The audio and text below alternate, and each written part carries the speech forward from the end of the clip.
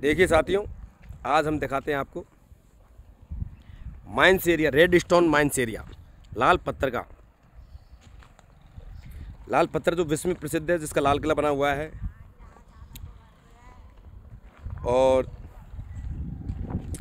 जो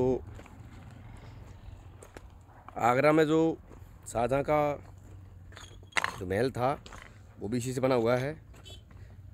और जो बड़ी बड़ी इमारतें हैं रही है जिनमें रेड स्टोन लगा हुआ है, वो सब यहाँ से जाता है, देखो आप। ये माइन से, और ये इसमें से कटता है इस तरह से। ये देख रहे हो, ये निशान हो रहे ये निशान, ये जो बने हुए निशान। ये निशान मशीन के द्वारा बनाए गए, उससे रेड स्टोन निकलता है ये। ये देखिए। ये रेड स्टोन की माइंस है ये पूरी रेड स्टोन की माइंस है और ये रेड स्टोन माइंस हमारे यहाँ लोकल करौली में और धौलपुर में। दोनों जगह है।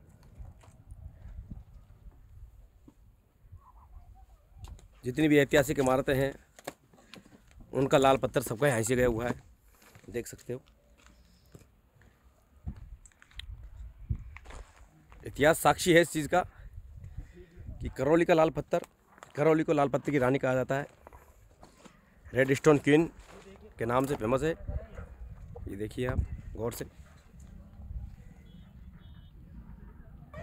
ये पूरा माइनिंग एरिया है यहाँ पे। कंप्लीट माइनिंग एरिया है रेड स्टोन का। ये देखो, यहाँ से। ये देखिए ये।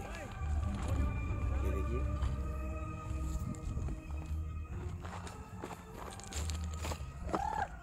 यहाँ से बहुत मेहनत करने के बाद खानों की चढ़ाई करने के बाद, और यहाँ से पत्थर निकाला जाता है। यहाँ का पत्थर पूरे भारतवर्ष में सप्लाई होता है और इस पत्थर की डिमांड दूर दूर तक है, विदेशों में भी तक ये जाता है एक्सपोर्ट होता है विदेशों के लिए। देखिए।